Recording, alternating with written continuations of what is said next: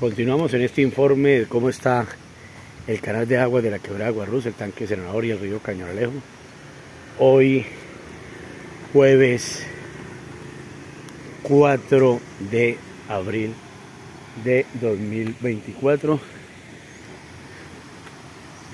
El colchón no se fue, la lluvia no fue fuerte porque la mayoría de los residuos están exactamente donde los grabamos ayer. Ahí está la evidencia. Si no llovió duro, si no pasó el colchón es porque no llovió duro prácticamente. Vamos a ver cómo está el río Caño de Alejo. Con el saludo respectivo para la ingeniera sanitaria Solange Morillo Baltán.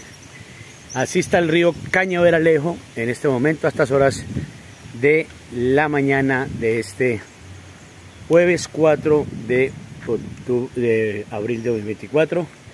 Y vamos hacia el tanque serenador de la quebrada Guarruz. Como de costumbre siempre hacemos el informe diariamente del comportamiento de la quebrada Guarruz, su canal, su tanque y la desembocadura allá al río Caño de la Lea. Esto es lo que tenemos el día de hoy, jueves 4 de abril de 2024.